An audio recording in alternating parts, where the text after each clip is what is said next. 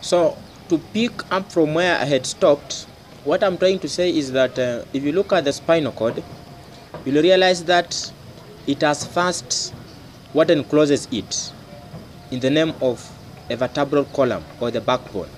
And I've said from the base of the brain to the far end or to the posterior end of the spinal cord, we have a total of 33 bones. These bones get distributed in five main regions. We have what you call the cervical region, we have what you call the thoracic region, just below it, we have what you call the lumbar region, then we have what you call the sacral region. And at the end part of it, we have what you call the coccygeal or the coccyx. So if you look at these five regions, each and every region has a certain number of bones. If you look at the cervical region, it has a total of seven bones. If you look at the thoracic region, it has a total of 12 bones. So have you actually named those bones moving from the cervical to the coccyx? You realize at the end of the day, you'll have a total of 33 bones. Moving to the inside, the spinal cord again gets protected or surrounded by three meninges. These are the dura to the outside, the pia, which is the innermost, and the arachnoid, which is a small space between the dura and the pia, filled by what you call cerebrospinal fluid. As you move to the inside of the spinal cord, we have what you call the gray matter and the white matter. The gray matter is H-shaped and at the center of the spinal cord. The white matter surrounds the gray matter.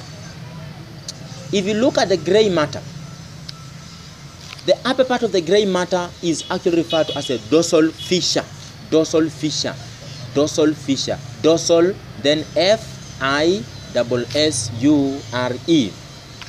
At the lower part of the spinal cord, where we have what we call the gray matter, we have this part called ventral fissure.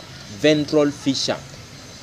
Ventral, then fissure. F I double S U R E.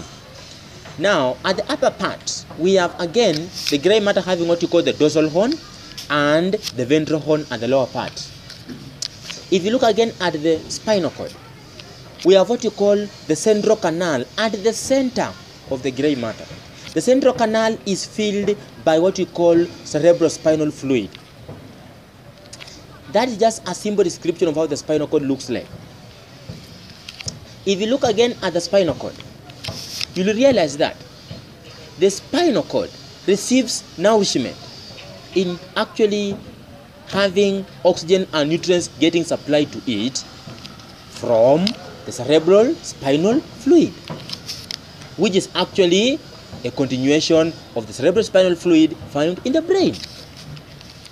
As I move downwards, if I may have a diagram showing how nerves enter and leave the spinal cord, on my left, and as far as that diagram will be concerned, now that you'll actually be able to have that diagram when you'll be looking at this discussion I'm actually having here, you'll realize that on my left, through the dorsal horn, we have what you call the spinal nerve entering the spinal cord. That path followed by that spinal nerve entering the spinal cord through the dorsal root and the dorsal horn. We have what you call dorsal root ganglion. Dorsal root ganglion. Again, at the same time, the spinal nerve leaves the spinal cord. Again, through what you call the ventral root and ventral horn. On my right, if you look at the spinal cord, you shall have this one. The sensory nerve from the receptor organ that receives the stimuli or stimulus in singular enters the spinal cord through what you call the dorsal root again and the dorsal horn. Again, the sensory nerve or sensory neuron is able to get connected to the relay neuron through what you call a synapse or a neurojunction.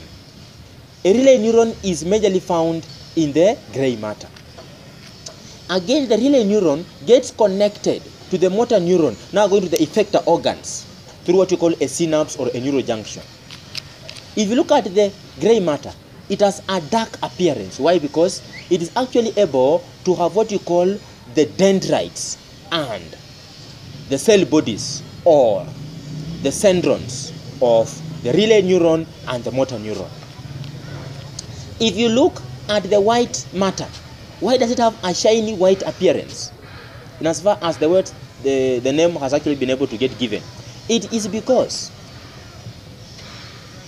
the axons of the motor and sensory neurons have what you call the myelin sheath or a medullated sheath. This myelin sheath or medullated sheath will give the axons or will actually be able to give this region its shiny white appearance. The axons of the sensory neuron and the motor neuron are myelinated. Being myelinated means that now they'll end up giving this region a shiny white appearance. Moving forward, you'll realize that when you look at the spinal cord, you'll understand that it is actually able to form part of what you call the central nervous system.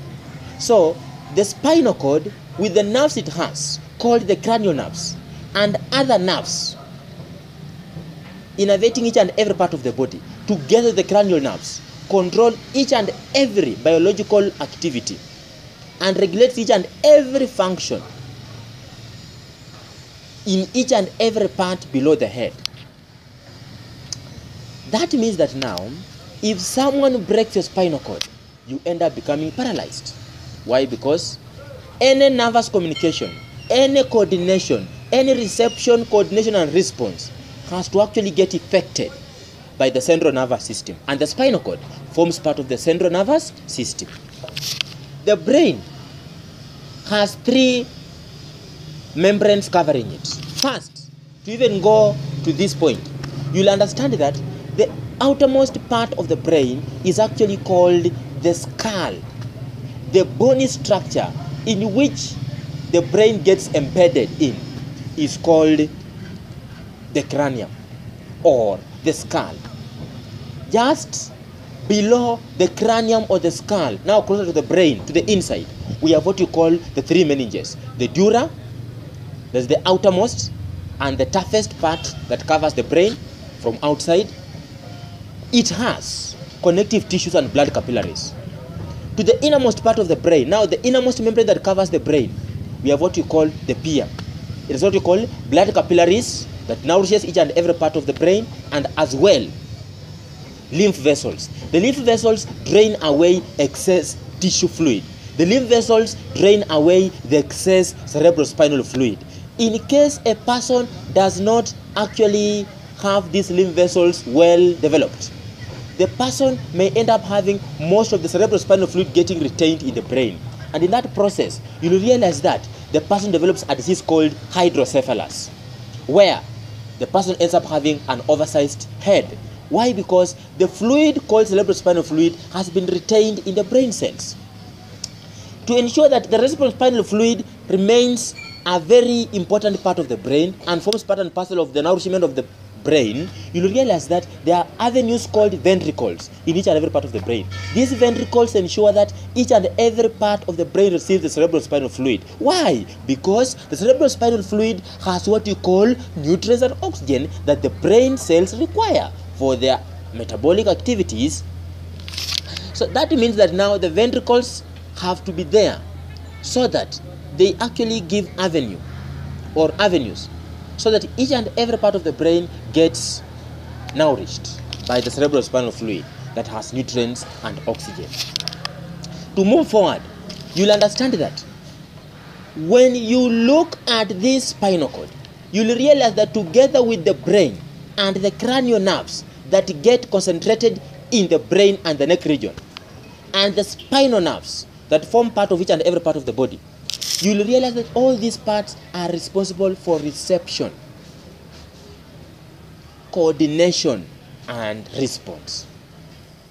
Going forward, you'll understand that if you look at the structure of a nerve cell or a neuron, a nerve cell first has two major parts. We have what you call the dendron and the cell body.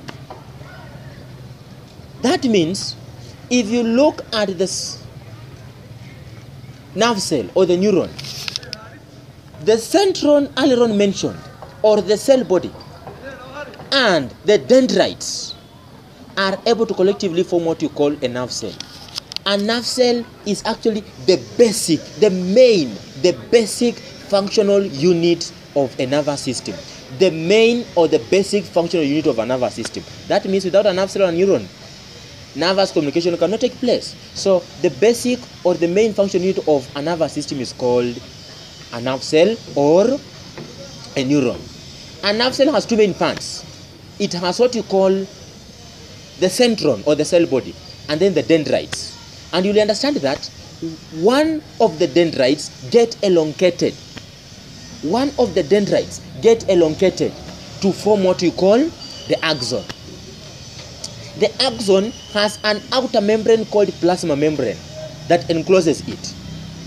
To the far end, we have what you call the myelin sheath or medullated sheath, which is actually a fatty sheath that encloses the axon. To the outside, as you move to the outside of the neur- neu- neuron or the nerve cell, you'll have what you call the neurilemma. The neurilemma has cells called Schwann cell. How do you spell neurilemma? N E U R I L E M M A, neurilemma. A membrane of the Schwann cell. How do you spell Schwann cell? S C H W A double N, Schwann cell. The Schwann cell secretes the myelin sheath, which is a fatty sheath, also called medullated sheath.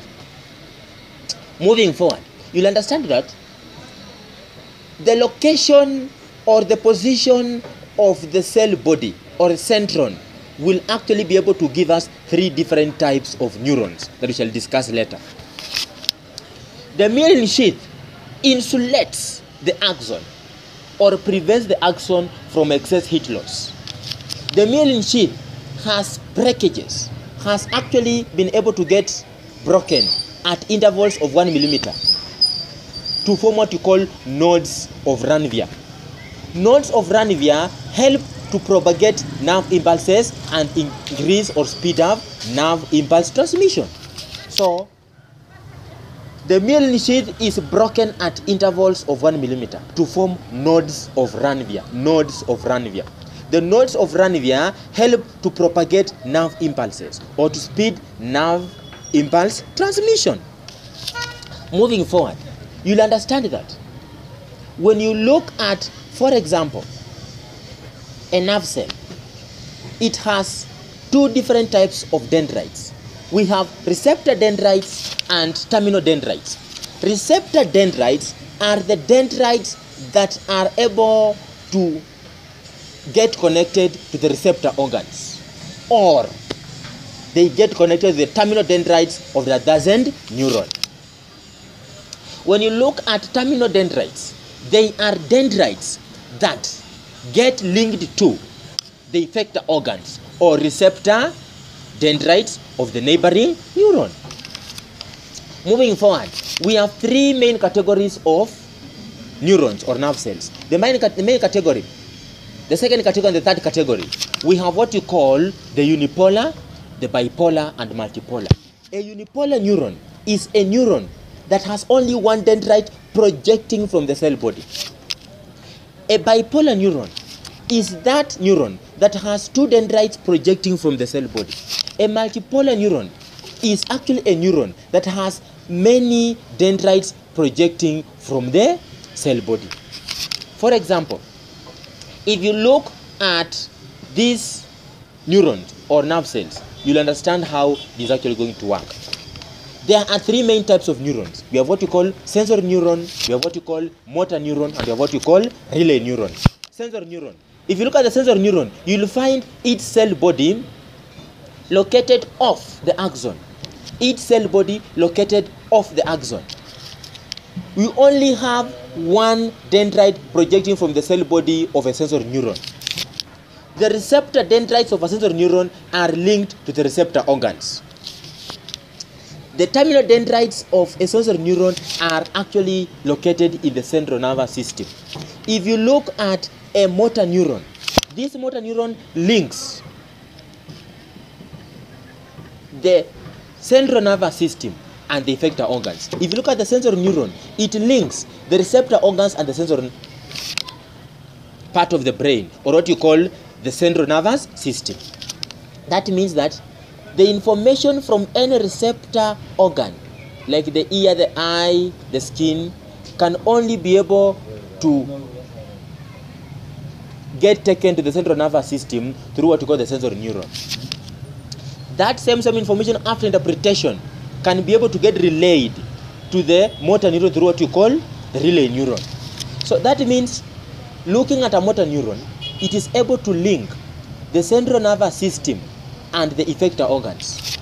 Looking at a motor neuron, it has the following parts. Number one, it has its receptor dendrites in the central nervous system. It has its terminal dendrites in the effector organs, like the muscles and the glands. If you look at a motor neuron, its cell body is actually located in the central nervous system. If you look at a motor neuron, it has several dendrites projecting from its cell body or centron. If you look at a relay neuron, it's a neuron that can either be unipolar, multipolar, or bipolar. But to be very specific, it is majorly multipolar or bipolar. That means it can have two dendrites projecting from each cell body, or it can have several dendrites projecting from each cell body. Relay neuron is not myelinated. It has no myelin sheath. It has no medullated sheath. That means it actually just ensures that it connects or links the sensory neuron and the motor neuron through what you call a synapse or neurojunctions. What do I mean here? That means that now, when a message comes from the receptor organ and has to be taken to the central nervous system, the brain and the spinal cord, that information has to pass through the sensory neuron. That information undergoes what you call coordination or interpretation by the brain. The information has to be relayed to the motor neuron to get taken to the effector organ through what we call the relay neuron, through what we call a synapse or a neurojunction. Moving forward, you'll understand that the sensory neuron, the relay neuron, the motor neuron will actually be able to form what we call the nervous communication. The nervous communication. The nervous communication. The nervous communication. Moving forward, you will understand that. You will understand that there are two different types of reflex actions. What's a reflex action first? A reflex action is a rapid and automatic response to a certain stimulus. You get your finger getting pricked. Do you actually get pricked by a sharp object and you just sit there and start looking and laughing at it? Oh, I'm, I'm pricked. No. If a finger gets pricked, the hand gets withdrawn. A rapid and automatic response to a stimulus. What happens here? This means that now you are supposed to ensure that you understand the meaning of a reflex action. It's a rapid and automatic response to a certain stimulus. A rapid and automatic response to a certain stimulus. Look at this.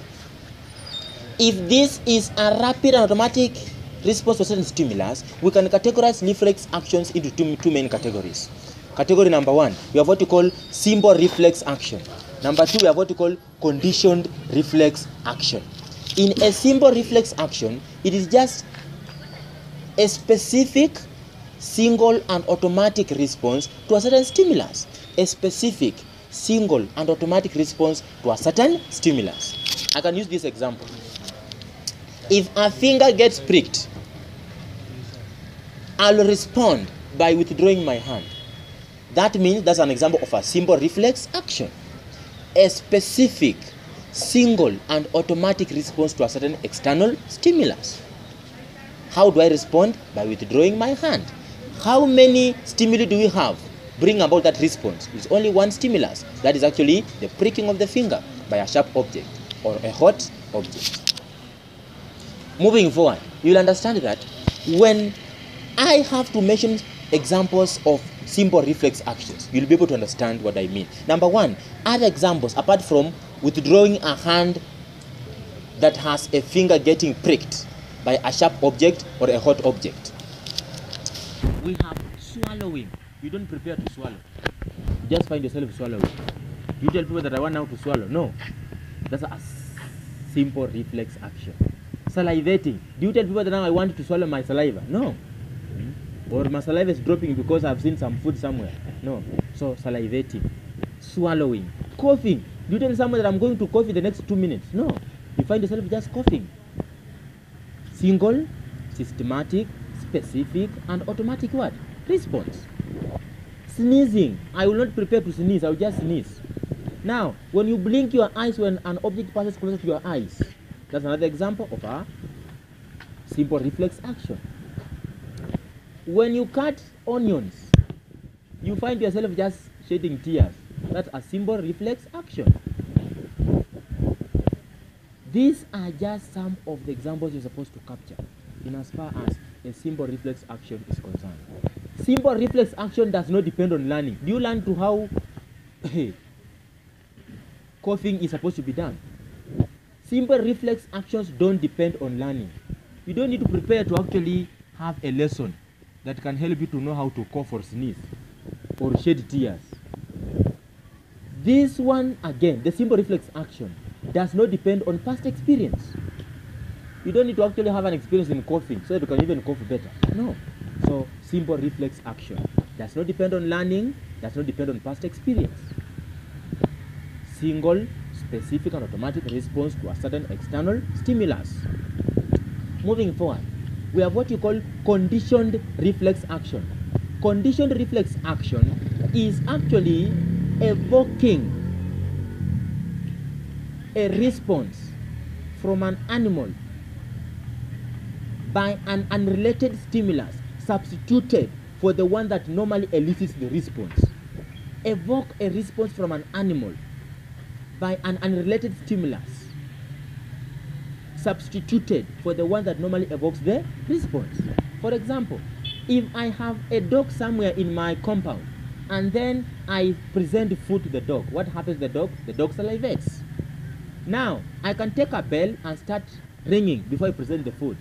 After some time, with the several experiments getting carried out, the dog will actually get conditioned to salivate when the bell is rung, even in the absence of the food. That means I've evoked a response from an animal by an unrelated stimulus. A bell, for heaven's sake, cannot make you to salivate. But I'm evoking a response from an animal by using a stimulus which is unrelated, normally substituted for the one that normally elicits the response. So a bell has been substituted. And in that case, you'll find that when the food gets presented, the bell has nothing to actually work. The dog salivates. When the food gets substituted by the bell and the bell gets rung, what happens? The dog again salivates in the absence of the food. Now, these experiments were carried out by a scientist called Ivan Pavlov. He carried out experiments and he realized that after some time, after some experiments, the dog could learn to salivate when the bell could be rung, even in the absence of the food. These things are very important to actually have students getting trained on one, number one, writing, swimming, reading, and other areas like cycling. These experiments, in as far as conditioned reflex action is concerned, have been able to get carried out and being very important, have been able to get applied in the following areas. For example, advertisements, training dogs, and learning processes. What are the differences between simple reflex action and conditioned reflex action? Number one, simple reflex action requires a single stimulus to evoke a response. Conditioned reflex action requires repeated stimulus to evoke a response. The second difference, you realize that simple reflex action does not depend on experience and there's no modification of behavior. I cannot be able to get modified modified coughing. I can't modify my coughing. I can't modify my sneezing. Conditioned reflex action involves modification of behavior and actually relies on past experience. Actually relies on past experience. Actually relies on past experience. Actually relies on past experience. Now, to actually finish these things, to actually finish these things, you'll understand that if you look at again simple reflex action and conditioned reflex action, conditioned reflex action relies on the basis of reinforcement, reinforcement by actually repeating the previous experience or repeating the previous stimulus previously presented to the animal. So relies on past experience. relies on past experience. So to ensure that the same same behavior can be able to get shown in that environment, then it means that now the reinforcement aspect must be able to get presented. The reinforcement aspect must get be must be able to get present presented. Must be able to get presented. Must be able to get presented. Must be able to get pre presented. Must be able to get presented. If you look at a simple reflex action, you don't need to have what you call reinforcement. I don't need to get reinforced before I can be able to cough or sneeze. Do I get to get reinforced? Like I'm given a sweet, then I'm told, can you cough? No. So simple reflex action, like you want to cough, does not need any reinforcement. That's very, very, very, very important. Very, very important. Very, very important. Very, very important. I want to look at the way the ear of an animal, like a human being, is adapted to perform its functions in the next few minutes. Number one, the ear has three main parts. We have what we call the outer ear, the middle ear, and the inner ear. The outer ear is made up of the ear pinna, that flap of the skin that actually looks like a bean. We have what we call the external auditory meatus, that pipe that directs the sound waves to the tympanic membrane or the eardrum. So, from outside, when I begin with the outer ear, we have what we call the ear pinna, that flap of the skin that is actually able to offer a large surface area. It offers a large surface area in a way that now it collects all the sound waves. It collects all the sound waves and actually directs them to the tympanic membrane. The ear pinna, a flap of the skin, provides a large surface area to collect all the sound waves and direct them to the tympanic membrane. From the ear pinna, that flap of skin, we have what we call the external auditory meatus, that pipe, that opening, that avenue that now directs the sound waves to the inner parts of the ear. When you look at the piping, when you look at the external auditory meatus, it ensures that all the sound waves collected by the ear pinna are actually directed to the tympanic membrane. Again, along the external auditory meatus, we have what you call wax secreting cells. The wax secreting cells secrete wax. The wax traps dust particles to prevent the dust particles from finding their way into the inner parts of the ear. Again, along the external auditory meatus, we have what we call the hairs. The hairs also trap dust particles to prevent any dust particles from entering and actually affecting the inner parts of the of the ear. The next part is the tympanic membrane. The tympanic membrane is actually also called the eardrum. It's actually double layered with connective tissues. It gets hit by sound waves and starts vibrating. That means it converts the sound waves into vibrations. Then directs the sound waves or the vibrations to what you call the ear ossicles. We have three main ear ossicles. We have what you call malleus, incus, and stapes.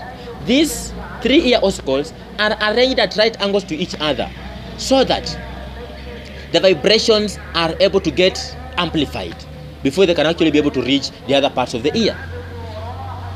When I start talking about the eardrum and the ear ossicles, I'm actually talking about the middle ear.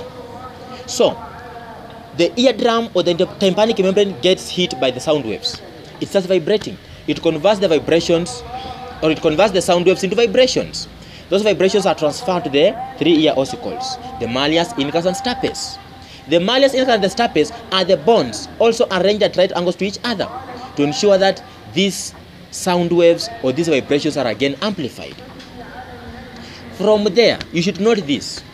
Malleus, incus, and stapes are the three bones. These three bones are held in positions, are held in positions by muscles called tensor, tympani, and stapedus. Tensor, T E N S O R, tympani, T Y M P A N I, and stapedus, S T A P E D U S, are the muscles that hold these three bones in position.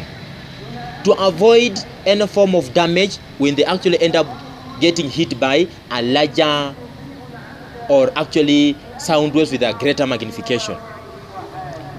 That means malleus, incus, and stapes are the three bony structures positioned at right angles to each other so that the sound waves can be amplified. These three bones are held in position by muscles called stapedus, tensor, and tympani. You see? Moving forward, you should understand this.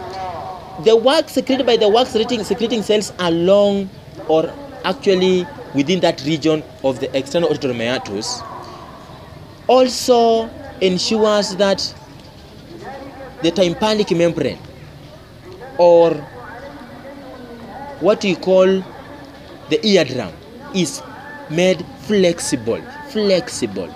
It can easily vibrate. It can easily turn the sound waves into vibrations. From there the sound waves are actually able to get directed to the inner ear in a region called the cochlea through what we call the oval window. These sound waves on hitting the oval window get directed now to the cochlea the inner ear. The cochlea has two fluids endolymph to the inside and perilymph to the outside. When these fluids are able to receive the vibrations they actually start moving within the cochlea. In that process the sensory hairs are actually triggered to actually have a nervous communication getting taken out to the auditory meatus. If you have what you call the perilymph the endolymph the fluids in the cochlea the sound waves from the oval window reaching the cochlea make the fluids within the cochlea to start also moving and as the fluids move what happens here? These fluids stimulate the sensory hairs on the cochlea to actually generate a nerve impulse. That nerve impulse is carried by the auditory nerve. The auditory nerve can carry that nerve impulse to the brain for interpretation. And after that one the sound can be perceived like that. Very very important. Very very important. Now moving forward moving forward you'll understand that the vibrations again from the endolymph and the perilymph are get taken back to the middle ear through what we call the round window also called what? Fenestra rotunda. The sound waves reach the cochlea through what we call fenestra ovalis. The sound waves get back to the middle ear through what we call fenestra rotunda or round window. Very very important very very important very very important now i'm supposed to be somewhere. Can we stop there? I think i'll get back to you in the evening. May god bless you so much. Have a nice day. Please remember to send the money. Thank you so much and have a nice day